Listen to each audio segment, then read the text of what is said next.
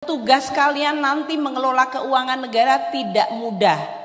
Karena kita tugasnya adalah untuk mengoreksi kecenderungan yang belum kalau dibiarkan akan menyebabkan Indonesia jauh dari tujuan kemerdekaannya tadi.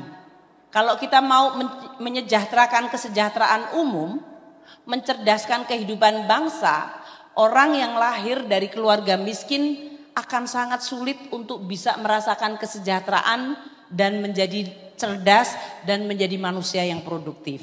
Maka hari ini kita harus fokus mengentaskan atau menghilangkan kemiskinan dan mengurangi kesenjangan. Tantangan lain, lapangan kerja. Kalau kalian mungkin masuk stan sudah merasa habis lulus saya pasti akan dapat kerjaan, betul? Insya Allah. Ya kan? Tapi banyak anak-anak yang sekolah sekarang SMA, masuk perguruan tinggi, habis lulus dia masih harus ngelamar pekerjaan. Banyak yang sudah lulus sampai hari ini belum bekerja. Tingkat pengangguran kita 5,3 persen, tapi tingkat yang setengah menganggur juga cukup banyak.